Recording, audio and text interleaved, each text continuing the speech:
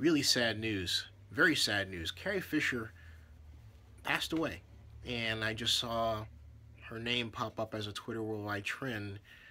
Um, and wow, this is unbelievable. I didn't know the extent of her heart damage and I thought she was going to pull through, but it just says that Carrie Fisher has died after suffering a well, she suffered the heart attack Friday, but she was in intensive care, and let me see what's going on here. This is sad, to say the least. Um, wow, 60 years old, and someone I grew up with. Huh. In a manner, in a manner of speaking.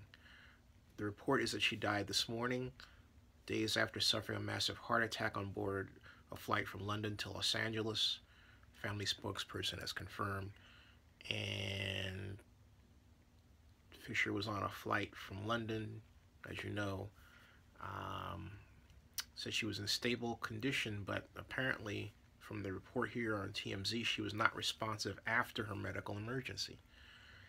Uh, wow. Anyway. I that's mm, really sad. Um, I don't know what happened. She's survived by her daughter Billie Lourd, who's going to be in um, Star Wars Episode 8. Uh, her brother Todd Fisher, her sisters Trisha and Joey Fisher, Joely Fisher.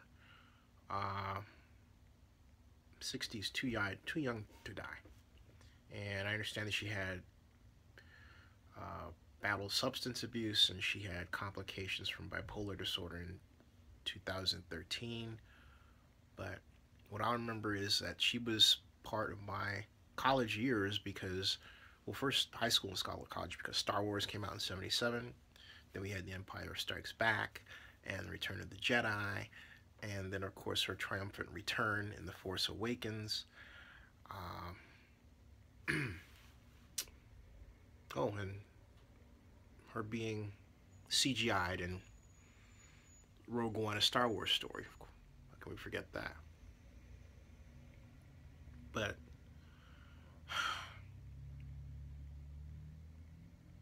it's unbelievable. I just cannot believe what I can't believe it. Can't believe it. Yeah, it's been a rough year. Been three years in one, but wow. three years in one. Heck of a way to end a year. She will be remembered for a long, long time. A long time. Okay. Uh, what What do you remember about Carrie Fisher? In the comments. Um, share your memories, please and when I say memories, not like you've known her, but you know, we have memories because we've seen her movies and followed her uh, as a star, and everyone has memories. Maybe you have a favorite scene from Star Wars that featured her. Like, my favorite scene was when she said, get that walking carpet out of my way in the first Star Wars, right? And that was, that was hilarious. That's the first thing that comes to mind for me. Um, yeah. Wow.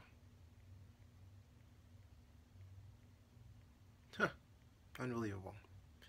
Un totally, completely, 1000% unbelievable.